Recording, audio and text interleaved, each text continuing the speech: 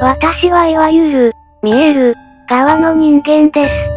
ですがただ見えるだけで、何もすることはできません。これはそんな私が体験した、今でも気になっている出来事です。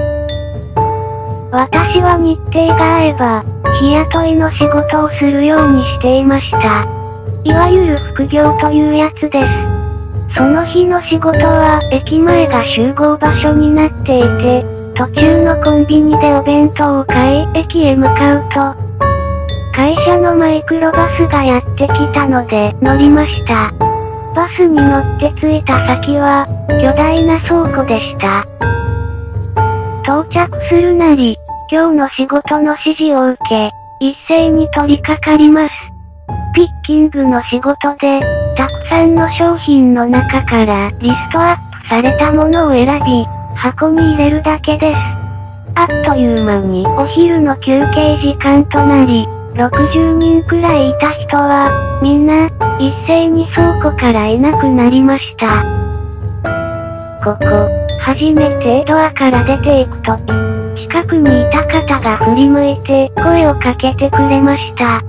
私は初めて来た場所でしたが、どうやら何人かは複数回、日雇いに来ている様子です。唐突にそんなことを言われて、あっけに取られましたが、まあ、今日だけだしと気軽に考えて、ご飯を食べます。ベルが鳴ると、皆一斉に移動して、午後の仕事へと取り掛かります。作業中は黙々と働き、終業のベルが鳴ると日当が手渡しされます。受け取った方は、次々と建物を出ていきます。私も外へ出ようと思ったのですが、その前にトイレと思って一人で向かいました。トイレには先客が一人いました。私がトイレを使い、出てくると、まだその方は手を洗っています。特に気にもせず、私は警備員のいる出口へと向かいます。あれ、まだいたの？閉めるから早くして。警備員は言い切らないうち、シャッターのスイッチを押していました。私は、あの、まだ一人います。トイレにいました。と伝えると、警備員は言いました。あれはいいんだ。あれはここで2年前、フォークリフトにはねられて亡くなった子だ。さあ早く。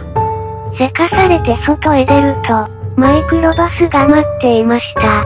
幽霊を見たのに、妙にリアルすぎたので怖くはありませんでした。